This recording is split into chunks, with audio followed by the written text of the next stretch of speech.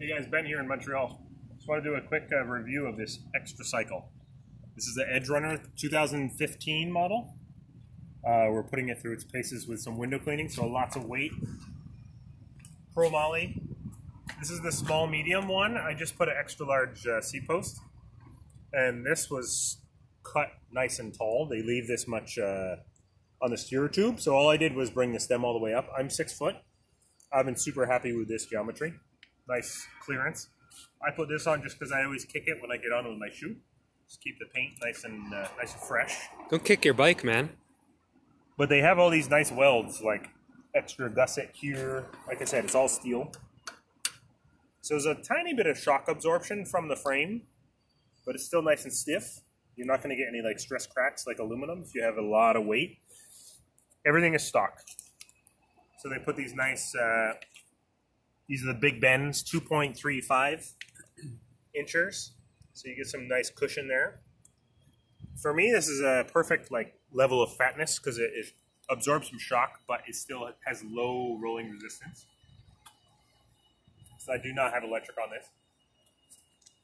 Yeah, so I have it right here. I've just added this through the holes that are already here and just put this little platform to hold my bucket. And then on the each each side of this,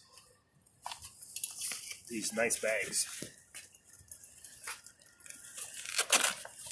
I carry a jerry can and my all my work supplies right in there. So these are 2.5 gallons. So I normally have five gallons of water plus the full bucket. So about nine gallons, 10 gallons of water that I leave the house with. Uh, like I said, no motor, but the gearing, like it's got 27 speeds. So your granny gear going up any hill, I've been fine with. Hydraulic Deore brakes front and back, 180 uh, millimeter rotors.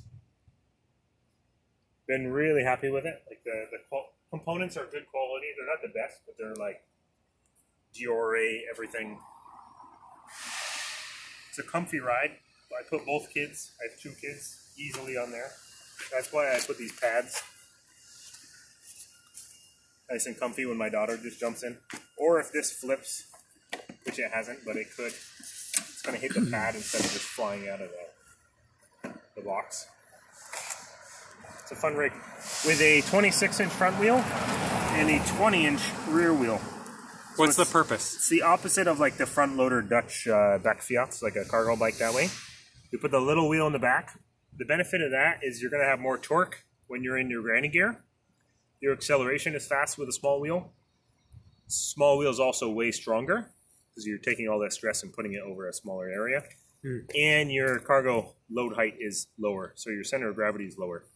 So instead of a 26er being maybe up here with all that weight, we reduce the, the weight.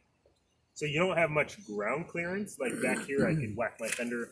I can't roll off a curb with it. That's the only downside.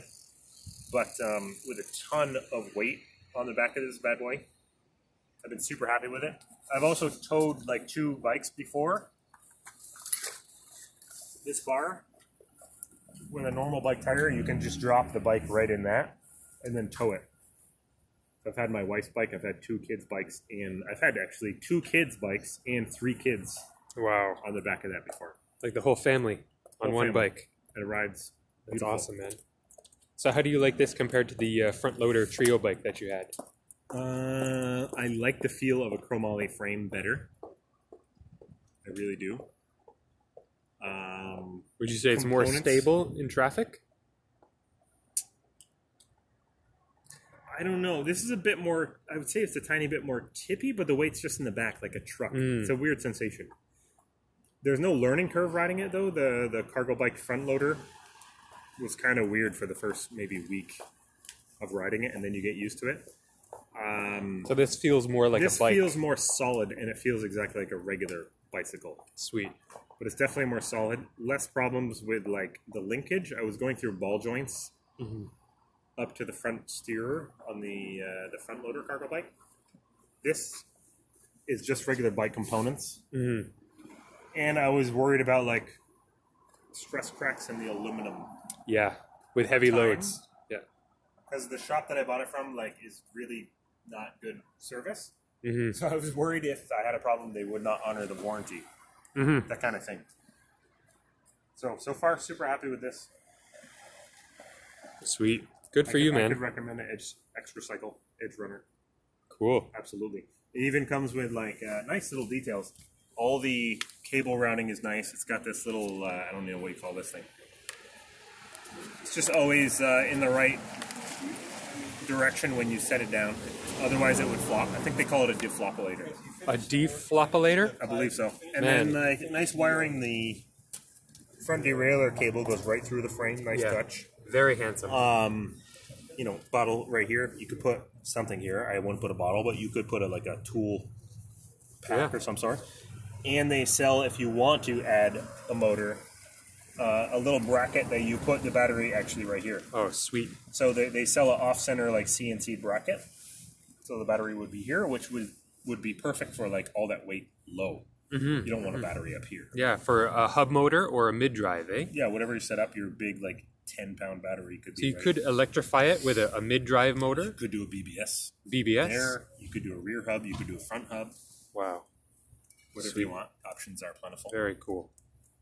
Well, man, appreciate. I would rather add electric than buy an electric, Yeah, even an extra uh, Xtracycle electric, Yeah. just to save like four thousand dollars. yeah, and you probably find something much cheaper A cool uh, and more powerful, more yeah. range. And I park it outside, DIY. and I put one of these little like alarms on it too, Oh, cool. which I stashed in there. That's the alarm there. Okay. Now my viewers can rob me because that's where the alarm is. And then you turn it on like this.